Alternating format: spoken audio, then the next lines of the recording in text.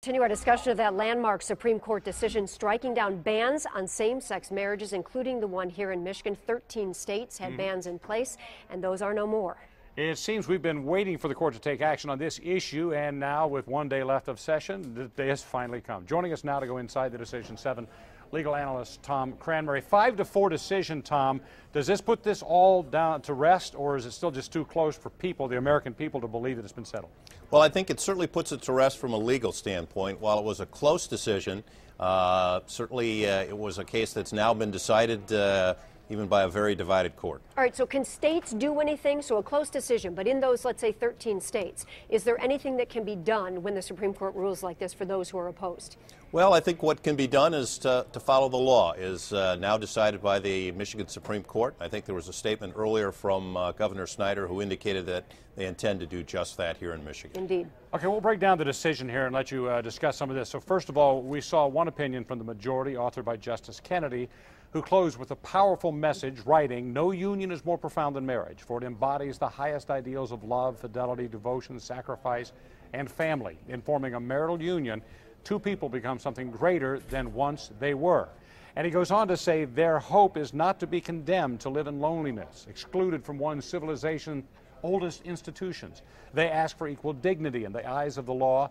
The Constitution grants them that right is the key part of that when he says equal dignity in the eyes of the law? What do I, you think? I think it is. And also, he talked about equal protection and due process, all of the concepts that he and the other four justices thought were important. But interestingly enough, the dissent was a very powerful dissent and a very strident one in some respects. Justice Scalia indicated that he thought that this was a very, very bad day for democracy. He thought that the Constitution has been revised now by an unelected committee of nine and he was referring, of course, to uh, the other members of the United States Supreme Court. Um, Justice Roberts, in his dissent, said that there may be cause for celebration, but there's really no right found in the Constitution, and what's happened here is that uh, we've legislated from the bench, which is not appropriate. Yeah, he said, in fact, the line was celebrate the availability of new benefits. People who were very excited about this but do not celebrate the Constitution, it had nothing to do with it. Those two opinions on in the dissent. Let's talk a little bit about what we talked to Dana Nessel about.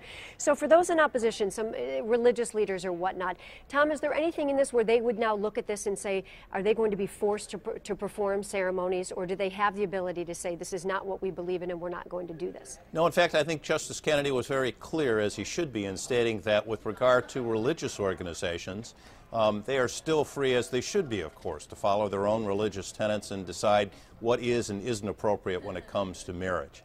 But with regard to the states, uh, that's a different question, and the states now do have to recognize uh, gay marriages. Well, let's talk about the states. A Michigan law has been introduced, actually, three different laws that all kind of work together that would not let the government force, as we go back to the religious leaders, to perform same sex marriages. Now, this is the state dictating what the religious uh, parties can do. How does that uh, come, come to be under this?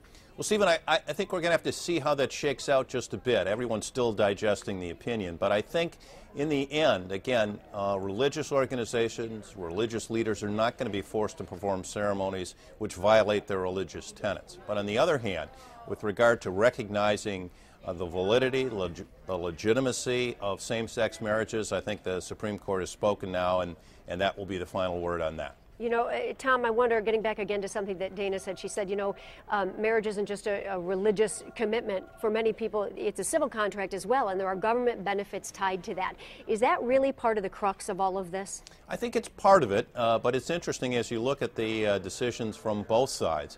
Certainly, as Stephen read to us earlier, the majority, through Justice Kennedy, recognized that there are important aspects of same sex marriage that go well beyond just the legal significance.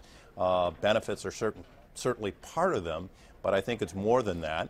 And again, the uh, dissenters said, well, uh, that may well be the case, but we have to look to the law, we have to look to the Constitution, and in our judgment, there's no basis for uh, this decision. All right, Tom Cranmer, as always, we appreciate your, your, insight there on the legalities of this very complicated. Matter of fact, this was this was it. The decision right here, page and page, and this is a small type right here. You're right. Lots of strong opinions on both sides, certainly, but a five-four decision legalizing gay marriage in the country. Tom Cranmer, thank you so much.